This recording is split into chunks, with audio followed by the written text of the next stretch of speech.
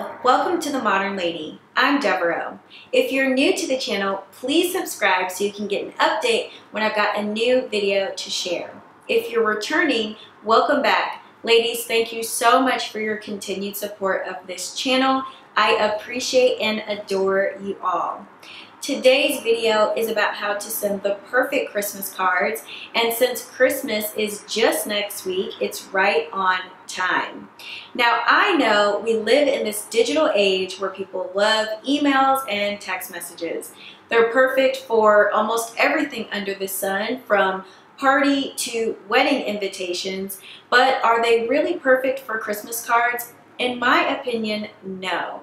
The art of sending a tangible Christmas card is just a beautiful touch and it's something that extends beyond the power of what an email can really do.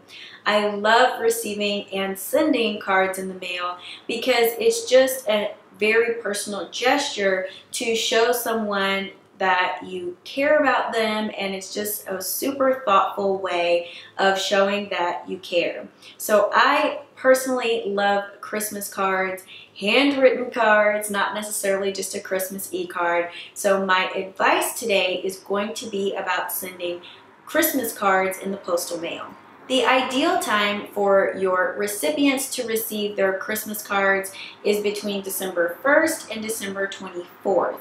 If you're sending cards after Christmas Day, you should just address them as happy holiday cards and you can include greetings and well wishes for both Christmas and New Year's. But for a Christmas card, you definitely want it to arrive no later than Christmas Eve. If you're using address labels for your Christmas cards this season, I highly recommend that you handwrite your return address. It's just going to add a personal touch. If you have a printed label for the recipient's address as well as your return address, it's a little bit more impersonal and it kind of just seems manufactured.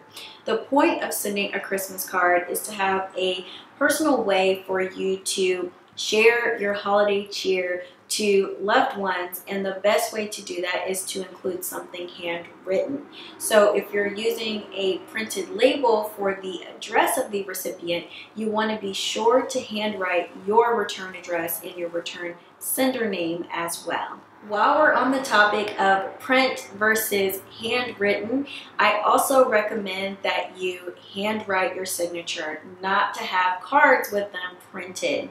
Again, it's just a personal touch for you to be able to extend that level of thoughtfulness to whoever you are sending your cards to.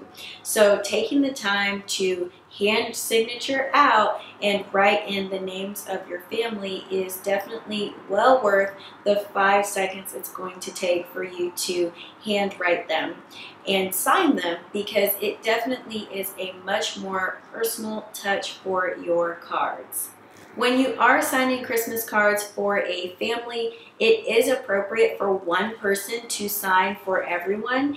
And if that's the case, the order of the names should be with the father's first name, the mother's first name, and then the first name of each child from oldest to youngest with the last name on the end. So that is the order if you are writing out your hand signature for your cards for the entire family. It's perfectly fine for one person to do it, but hopefully the person signing the cards isn't always designated the task every year so everyone in the family can get a turn. Now if you have a particular design on your Christmas cards that you love love, I would love to hear about it. The holiday season is simply the most wonderful time of the year, so you can share with us in a comment below the design of what your favorite Christmas cards are or the design of the cards you are sending this year to your family and loved ones. We can keep the conversation going below.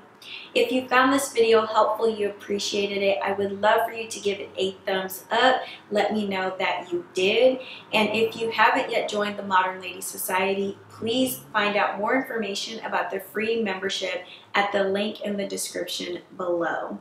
It's a free online community of women around the world dedicated to living every single day with charm and elegance. Thanks for watching this video. I hope you enjoyed it and I will see you again in the next one. Bye for now.